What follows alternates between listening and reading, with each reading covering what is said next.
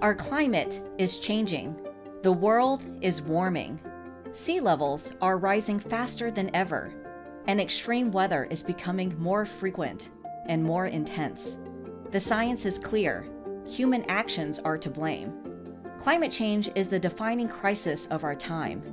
We are in a climate emergency. I've spent most of my career trying to measure the climate impacts of our actions in the hopes that governments can identify the best policies or businesses can find the right strategies to help us slow the damage. Since the Industrial Revolution, the world learned to produce everything faster and cheaper. As societies got richer, we produced more and consumed more energy, more materials, and more food. What we need is a new industrial revolution, a new playbook that decouples growth from emissions. That revolution is gaining momentum.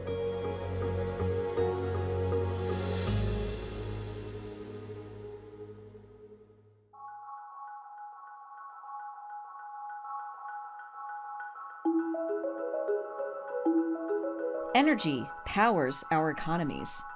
But energy is responsible for 80% of all greenhouse gases produced, the key culprit behind our warming planet. How do we slow down those emissions?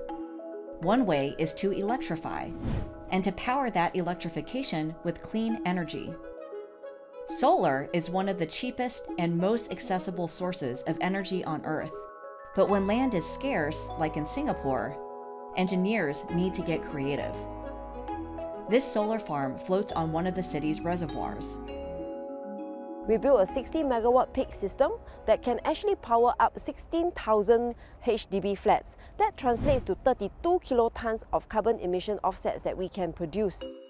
That's enough to power Singapore's five local water treatment plants, making Singapore one of the few countries in the world to have a 100% green waterworks system. Sembcorp took a little under a year to build this, one of the world's largest floating solar farms. They're now ready to apply the same idea on waters elsewhere. We have a target of 10 gigawatts. With all the lessons and innovations that we have learned, we want to work with the neighboring countries to develop renewable energy together with them. There's even more good news. Apart from having solar panels float on water, Researchers are already studying how they could be pasted on the glass or skins of buildings, or on cars, buses, or almost anything. All of this could give solar farms a bigger footprint. But the biggest drawback about solar is that it can't always be on.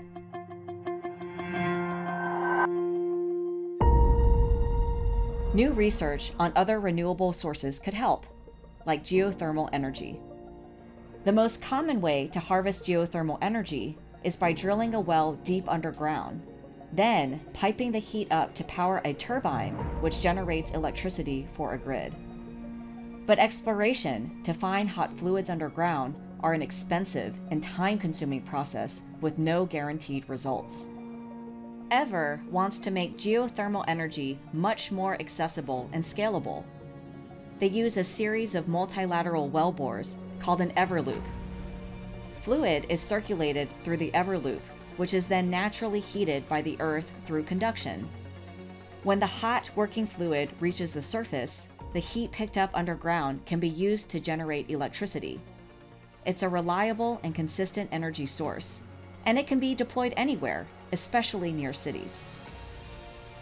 It changes the entire process from one of exploration to something that's a repeatable manufacturing process, something that's scalable. And that makes all the difference in the world. They're all underground, very low structures. So the beauty of this thing, you can fit it anywhere and you don't have to look at it and land can still be used for recreation or agriculture or whatever else you want. So that is a huge win-win. Making the transition to this new energy source requires construction and professional expertise. That kind of talent is already available in the oil and gas industry. They don't need any retraining. So all of a sudden you're an oil and gas guy, you're sitting there, oh, actually, I am for you know the green revolution because I know I can still earn a living doing that. I can still feed my kids. People can redeploy their existing skills on this whole new green industry that has so many other advantages. There's another source of renewable energy that's been around much longer nuclear. Nuclear fission makes up 10% of the world's energy mix, the highest among all low carbon sources. But nuclear's reputation precedes it. Research is underway on a safer type of reaction nuclear fusion. The word nuclear has a bad reputation as long, long lasting waste and the, the problems of Fukushima and Chernobyl. But fusion is a different thing, it's a different process, it has very different radiological hazards, and it should be treated as a different source of power. This is how fusion energy is created. Fusion fuel is a hot gas of two heavy forms of hydrogen, which are fused to form helium. In the process, some of their leftover mass is turned into energy. One of the beauties of fusion is that it is so energy intensive. This is really the holy grail in a sense, that you've effectively got inexhaustible fuel, um, and yet it could supply electricity for all of us continuously and in a carbon free way. Um, but it's really hard to do because you're dealing with a fuel which is so hot, and so sustaining that temperature and holding the fuel in a stationary way is then a big challenge. Fusion reactors are difficult to make because they must withstand temperatures of up to 150 million degrees Celsius, 10 times hotter than the sun. The kind of heat needed to fuse atoms melts most machines. ITER at the south of France is the world's most expensive science experiment designed to achieve fusion at scale. The UK's Atomic Energy Authority are members of the ITER project, but they're also building a much smaller reactor. Scaling down makes commercialization easier. ITER is big and it is quite expensive. And if the power plants that follow ITER, you have to raise sort of 20 billion dollars each time you want to build a power station, that's quite hard to do. And so you also want to find ways of making it more economically attractive. And that could be making it smaller, drive down the scale. People have got to want to buy it. If it's too expensive, people won't buy it. And then people have got to want it and accept it and understand it and be in favour of it. All of those things have to happen for that ecosystem to really work. A movement to decarbonize is underway, and not just in industrial settings. As the world seeks new ways to harvest clean power, efforts are already underway to help us use energy more efficiently. In Singapore, air conditioning is quite the necessity to beat the heat but cooling accounts for much of the city's energy usage. In homes, it makes up almost 30% of energy bills, and electricity consumption in buildings and households make up about 20% of the country's overall annual carbon emissions. A new approach can make cooling cheaper and more efficient. The city's largest energy provider, SP Group, designed a centralized cooling system for the city's iconic Marina Bay Financial District. It's installing a similar system at a housing estate. Centralized cooling works like this. On rooftops of blocks, water is chilled. Solar panels nearby partially power the refrigeration process. The chilled water is piped to homes, where a fan coil unit creates cool air from the chilled water and cools the apartment. A centralized and professionally managed chiller makes cooling more efficient. Compared to the conventional setup, with many small chiller units placed throughout an apartment block. It will give them at least up to 30% energy efficiency. Energy efficiency should translate into savings for them. Uh, and in the long run, uh, it also enables them to not just save money, the next generation will have a planet which is not destroyed by all this ozone depleting refrigerants, but they're able to stay cool, they're able to have uh, thermal comforts, uh, quality living, but at the same time still protect the planet for the next generation. The town has other smart technologies meant to reduce energy, like an app that gives residents a reading of their energy consumption on demand. And you can actually compare that to other households in Singapore. So you can actually know whether you are faring uh, uh ahead or actually behind the national average and take actions towards that. Renewable energy holds the promise of a sustainable future but it has to go hand in hand with electrification. Heavy transportation like shipping, aviation, and trucking are hard to abate. Heavy duty transportation, for example, like marine vessels, aviation, or heavy trucks, that's another story. You can't electrify them directly. You can't plug a cable into a marine vessel and make sure that it works on clean power. Since big machines can't be powered by batteries, hydrogen could be the energy carrier instead. Haldor Topsoe is a Danish company working on developing green hydrogen. That's hydrogen created from renewable energy. They've developed a solid oxide electrolyzer cell, which uses electrical power to split water to produce hydrogen. The electricity comes from renewable sources, making it green hydrogen. No carbon or harmful toxins are emitted from the process. And the electrolyzer cell delivers 30% more hydrogen output compared to other technologies. Hydrogen could then be used to make ammonia, which could power ships. Until recently, it was completely off the charts. You hadn't have this development. But now, more and more, there is a tremendous awareness coming in these kinds of sectors to generate more and more clean power for transportation. Just like what happened with solar and wind. 20, 25 years ago, it was extremely expensive to deploy solar parks or windmills. But now the industry has gone through a learning curve. And I am absolutely convinced that with our technology, we will do the same. In Singapore, the PSA studies these developments closely. It operates Singapore's container port, the largest transshipment hub in the world. Besides hydrogen, there are alternatives that we can actually explore using. Ammonia, organic hydride are among other hydrogen vectors that we can use. Using hydrogen in its pure, purest form or in other vectors whereby hydrogen is stored in other compounds. So if we can use those uh, uh, fuels directly, then you actually reduce the um, energy that's needed to create them and also improve the um, cost outcome. Singapore is in a unique leadership position.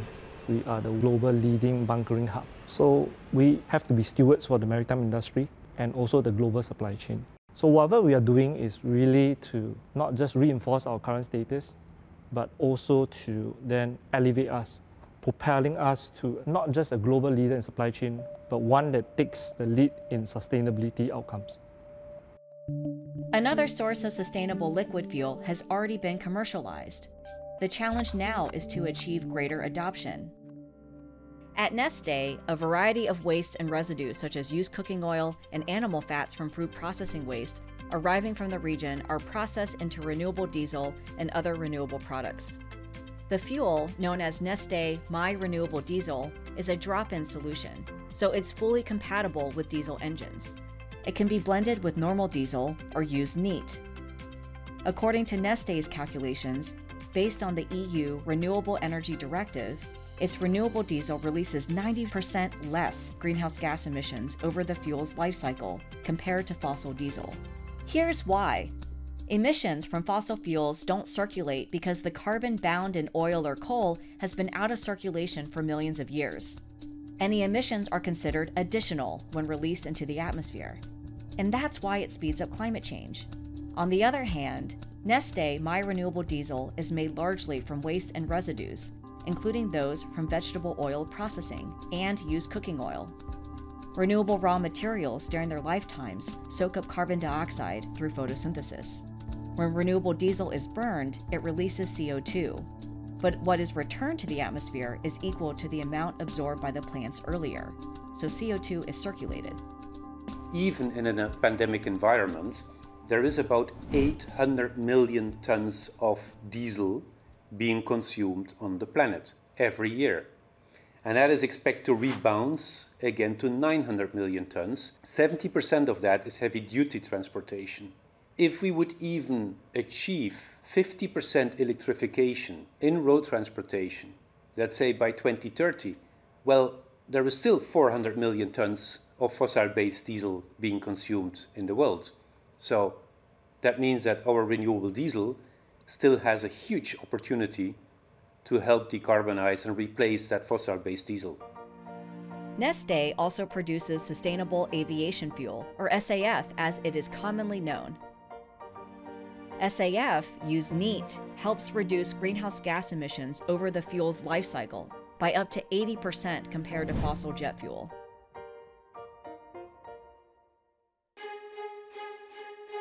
300 million tons of fossil based jet fuel was used on average before the pandemic. Because of the sheer volume of flights worldwide, the carbon cutting potential is massive. But SAF doesn't come cheap. It's currently three to five times more expensive than conventional jet fuel. The higher cost prevents a wider uptake and, in turn, makes the prospect of scaling up supply difficult. Singapore's national carrier, SIA, first trialed sustainable aviation fuel in 2017 on over three months of flights between Singapore and San Francisco. We saved 320 tons of carbon dioxide. Also, in 2020, we deployed SAF on our flights between Stockholm and Moscow. And we continue to look out for opportunities to deploy sustainable aviation fuel on more flights. The airline aims to steadily increase its use of SAF to achieve carbon neutrality by 2050. And they're not going at it alone. I think it takes two hands to clap.